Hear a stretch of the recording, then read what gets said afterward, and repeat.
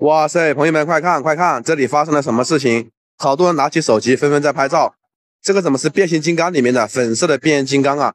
它怎么在大马路上面？哇塞，看到没有？这到底里面有没有人呢？朋友们，看到没有？上面怎么还有人扶着？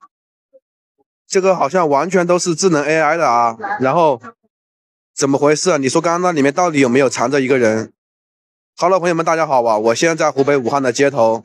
你知道吗？现在呢，有大批的俄罗斯人、乌克兰人，还有那个呃日本美女啊，他们纷纷涌入咱们中国。你知道为什么吗？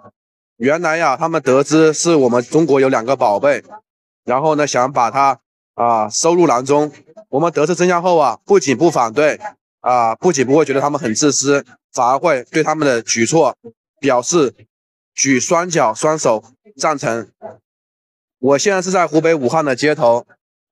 大家可以看一下，马路上好多靓男靓女啊，还有好多金发碧眼的，有没有一种感觉？我在啊那个上海外滩，看到没有？到处都是这种街边的店铺，玲珑满目啊，霓虹灯璀璨，看的人是啊，就是说心情愉悦。你知道吗？在这马路上其实有很多外国友人，不知道你们能不能够分辨得出来？首先，你看。金色头发的刚刚过去一个妹妹，然后呢，还有那种就是大长腿的，就是很明显身高非常高挑啊，身材又好，也符合咱们中国人审美。你看这边装修啊，真的是别具一格。武汉的这种营商氛围啊，真的太好了。怎么说呢？店铺啊，隔两家就是在排队，要么就是座无虚席，人山人海，人潮汹涌，没有视频是真的不敢相信啊，朋友们。那这么多国外的美女呢？她涌入咱们中国，到底是为了哪两件宝贝呢？首先呢，我跟你说一下吧。啊，这两年呢，你知道俄罗斯和乌克兰呢，因为一种特殊的原因，然后导致他们的男少女多，跟我们国情正好是不一样的一个情况，所以呢，就导致他们那边很多女的嫁不出去，找不到男人。再包括啊，你知道吗？俄罗斯的远东地区那边都是属于那种大雪啊，或者是极寒的地方，非常冷嘛。所以呢，他们就没办法找如意郎君，就来到咱们中国呢，是找男人来结婚的。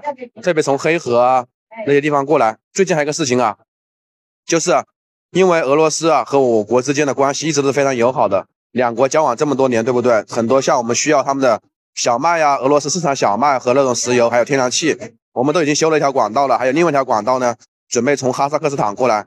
本来第一条呢应该从蒙古过来的，但是现在蒙古国啊，因为巴结那个什么。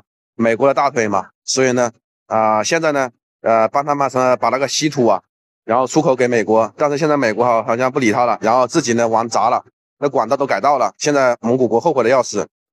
然后你知道吗？这都是言外之意。你看到马路上这么多人，其实有很多金发碧眼、大长腿的，有很多国外的人。